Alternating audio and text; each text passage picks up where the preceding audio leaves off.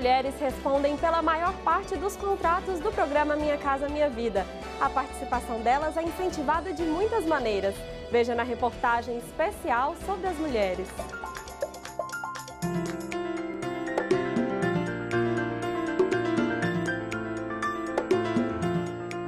Dona Genesi tem 77 anos de idade e viu muita coisa mudar ao longo da vida.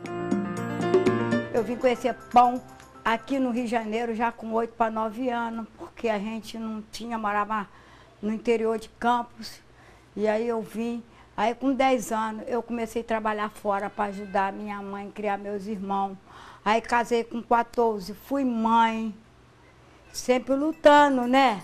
Ela morou por mais de 30 anos em uma área considerada de risco, na beira de um rio em São Gonçalo, no estado do Rio de Janeiro. A filha caçula, Maria Cristina, também morou com os filhos no mesmo lugar. Perdi muitas coisas, perdi móveis, muitos bens lá, comprava, perdia.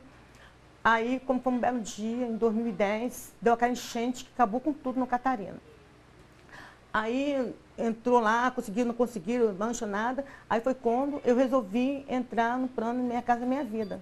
E as duas conseguiram o benefício. Uma casa para cada uma e no mesmo residencial, o Vista Alegre 1, em São Gonçalo. Agora eu tenho meu apartamento, eu tenho minha vida, não preciso ficar é, me incomodando, perder minha noite de sono. Se chovia, eu não conseguia dormir porque tinha que ficar vigiando o rio. Hoje em dia não preciso mais disso. Se choveu, se não choveu, eu estou dormindo, estou sossegada. O apartamento de Maria Cristina tem 45 metros quadrados. Além do marido, moram também na casa a filha e duas netas de Maria Cristina.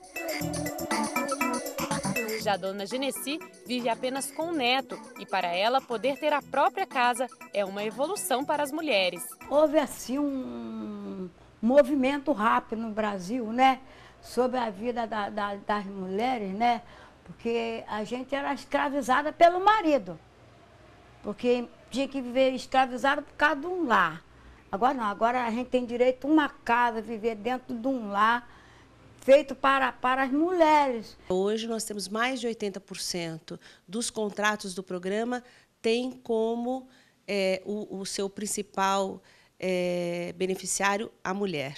A seleção dos beneficiários do Minha Casa Minha Vida dá prioridade para as mulheres chefes de família, aquelas responsáveis pela maior parte do orçamento da casa.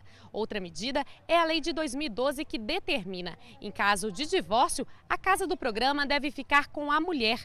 A única exceção é quando a guarda dos filhos está exclusivamente com o pai. Para nós é muito importante, porque isso reverte na autonomia das mulheres, na autonomia é, econômica, mas também na autonomia social daquela mulher. Ela se passa a se considerar sujeito seus, da sua própria vida. Rita de Cássia cria sozinha filhos e há oito meses foi morar no residencial Zequete, do Minha Casa Minha Vida, que fica no centro do Rio de Janeiro. Ao se inscrever no programa, teve prioridade por ser chefe de família. Foi muito legal dar essa oportunidade para gente que é mãe solteira, porque a gente já sofre tanto, porque a gente tem filha abandonada pelo marido, né? Sustenta a casa sozinha, vira mãe e pai, né? Então, foi legal essa oportunidade que eles deram. Estou muito feliz. E não é só para as mulheres adultas que uma casa segura faz diferença. As gêmeas Kailane e Rayane têm pela primeira vez uma área de lazer tranquila para brincar. E o que, que você faz aqui que você não fazia na sua casa antiga? Andar de skate de casa que não podia, andar de bicicleta. E aí agora aqui pode andar. Mudou tudo. Tudo na minha vida. evoluiu muito o Brasil. Dos tempos para cá evoluiu muito.